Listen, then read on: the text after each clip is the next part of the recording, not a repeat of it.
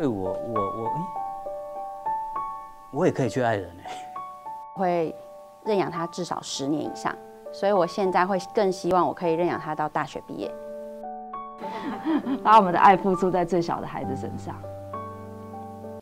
成立七十年的芥菜总会，透过认养机制，帮助弱势儿少提供稳定长期的扶助，并且邀请艺人六月担任公益大使，呼吁民众加入长期认养行列，帮助弱势儿少脱离贫穷循环。呃，基本上就是希望说，全台湾的大人们如果有能力的话，都可以帮助这些弱势家庭的小孩。然后，其实每一次看新闻报道，都觉得有一点。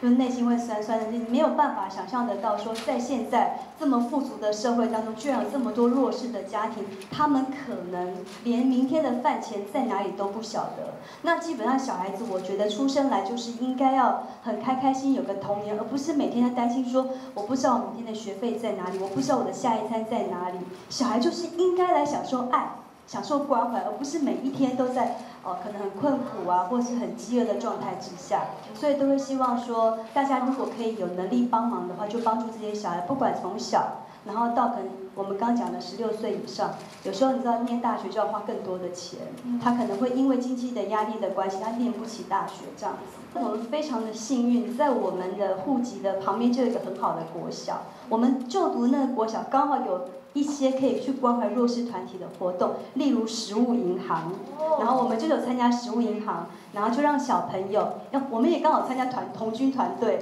所以很多的去关怀弱势团体的小朋友，我们是从童军这一块出发，然后童军主持了一个哦，我们好像也是跟教会合作的食物银行，然后让小朋友把家里面我们可能比较难得吃到的东西，然后捐到。食物银行，然后他们再去义卖，然后捐赠，就是那个得到的费用是会捐给这些小朋友当那个餐费的基金这样子。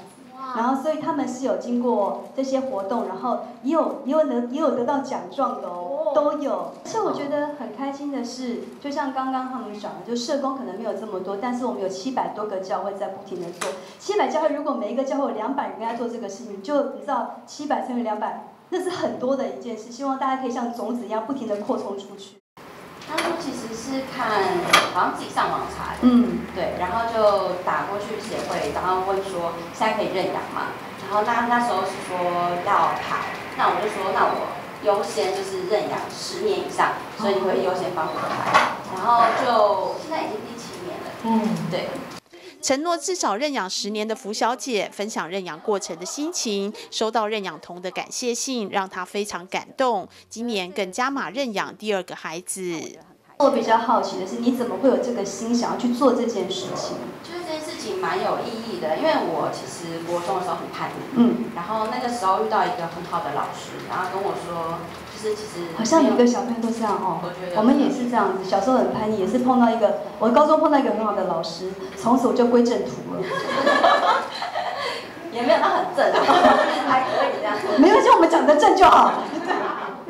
对，然后就觉得说，如果有人可以一直支持我，就是无条件支持你，就觉得这件事情是很重要的。所以我也想说，就是我可以支持这个小朋友，然后一直，其实后来有点被他感动。因为其实是被他支持，因为在这认养的七年中，我有呃第一前面有一段时间创业，第一次创业的时候，然后那时候公司收掉，其实很难过。可是收到他的信，他的信永远开头都是，因为我叫她叫我姐姐，不准叫阿姨，因为那时候很年轻嘛。然后她就说，啊，现在还是姐姐。对对对对，他他要很上道才可以。就是他就叫我福姐姐，说，哎，那我现在过了一个很不开心的暑假，你好吗？啊，其实很感动，因为她每一段时间都写一样内容，你就感觉她的能量是很正向，然后很开心的。可是我那个时候其实生命状态是比较低的，嗯，所以其实我反而被她鼓励到，然后我就觉得说我不能再一直沉浸在自己世界，我应该要出来，就是他反而是你一个动力，就对对对对，那时候是真的是这样觉得。根据芥菜总会调查，今年弱势儿少认养计划所服务的高三应届毕业生，只有百分之七十六有升学意愿，相较一般应届毕业生有百分之八十六继续升学，凸显提升弱势儿少教育机会需要更多的支持。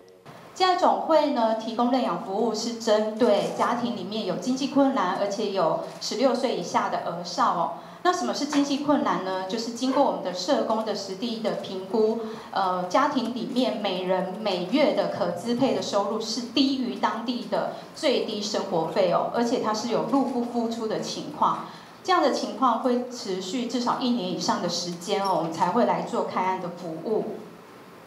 好，健爱总会呢，在认养服务其实已经累计超过了七千米的弱势而上。建爱总会其实非常的重视所谓的社区支持的力量，所以呢，我们也结合了呃各地的教会。陆续已经成立了七百三十七个社区共好点，一起来为这些弱势家庭提供一个及时性而且可进性的一个服务哦。在我们目前现有的呢，呃，认养同仁人数是四千九百一十八名哦。在所有的年龄分布里面，其实还算蛮平均的，只有十三到十五岁会稍微高一点。而全部的认养童里面呢，原住民的比例就呃将近了四十四成哦，有三十九趴。在整个家庭属性里面呢，呃，我们的单亲家庭其实也有超超过五成，而且隔代教养呢，其实也不在少数哦，有百分之十四。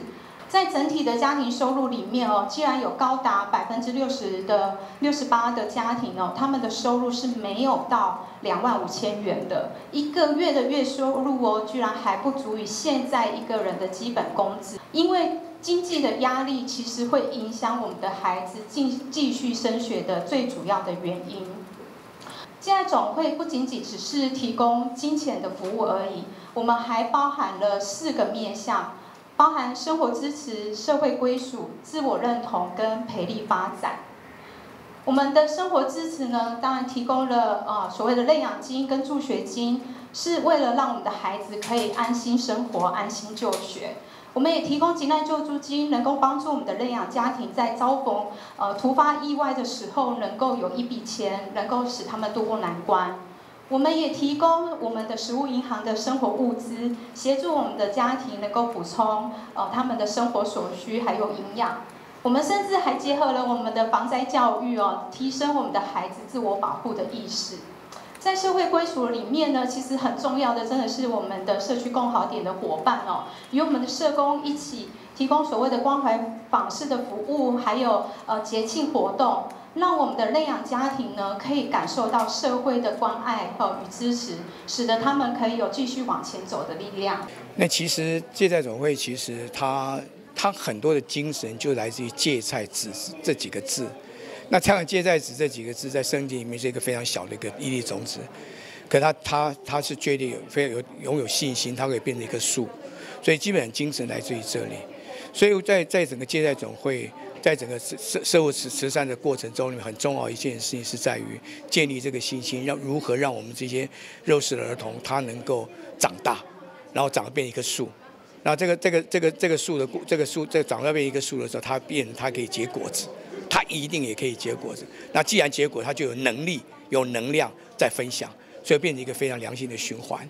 那所以呢，在这样的一个这一路走来七十年，当然相对于现在。正好我们整个企业单位都在推所谓的 ESG，ESG 的 S D S D G S，那里面有个 S，S 就是社会关怀。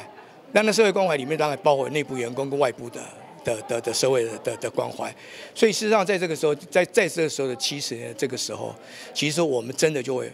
从原来的需要，我们去做服务。我们现在在开始在思考，我们怎么样子让这一代他在科技的变化、在环境的变化之下，他能够更为将来他是可以变成自立、更更为独立自主。所以因为如此，我们在我们在思考怎么样去培育他们。我们在思考怎么样在培育过程中，他有知识与技能。那培在培育的过程中，他在他能够能怎么样？他越有这种人际的关系，他可以把他自己的东西可以分享出来。一变成良性的循环。就是小时候，我爸因为车祸的关系，很早就走了，他家里就突然就陷入那种那个谷底。啊，那时候老师知道之后，就是有请全校一起来响应这件事，就是募捐。国中其实蛮叛逆，遇到一个很好的一个老师，觉得他其实影响我很大，对我是全然的鼓励。我没有感受过这样的温暖，所以我也希望说，如果在我的人生有能力的时候，我可以去影响这个小朋友，甚至更多的人，那有机会他可以成为一个更棒的人。疫情与通膨影响经济。根据芥菜总会统计，近两年停止认养的认养人有百分之四十六因为经济压力而无法继续认养，也使芥菜总会面临极大压力。是家爱总会其实服务就是弱势的儿童哦，在在全省呢有将近五千的这个儿童。那尤其现在就是目前在呃疫情期间哦，因为像说有减班啊、有确诊啊等等的，那相对的这些弱势家庭呢，哈的一旦就是减班或者是说工作有受影响，那势必家庭的收入就会有大大的受一些更更大的冲击。那我们在疫情期间其实有针对急难救助金哈，或者是防疫物资包，都会轻送到这个他们的家庭里面哦，让让他们缓解这个一时的在这个疫情底下的一个冲击的部分，这样子，呃，那呃平常的时间我们也就是也会去做一些认养的家庭的一些关怀哈。实际上，呃，透过每一个月的这个认养金，还有就是说助学金，然后希望提供孩子在生活的稳定上面，还有在学业上面都会有一些成长，然后让他们不会觉得说呃升学上面有一些困难度这样子。那的确就是说我们在真正只认养的幅度上有一些减少，因为认养人会主动打电话。跟我们讲说，他可能因为疫情的关系，收入上有顿减，所以可能要暂停他的一些认养的这个服务，呃，认养的认养金的投注等等这样子，所以就我们就会呃想就需要招募新的认养人，这样减少的比例哦，因为呃其实比例上面，因因为我们还有新的开案啦，就是需求会更多，所以我们呃其实上个月也都有将近到三百个认养同事缺认养人的状况这样子。只要每月定期定额一千元，就能成为芥菜总会的认养人。邀请大家一起用爱接力，帮助孩子翻转未来，让梦想无尽。记者李奇慧台北报道。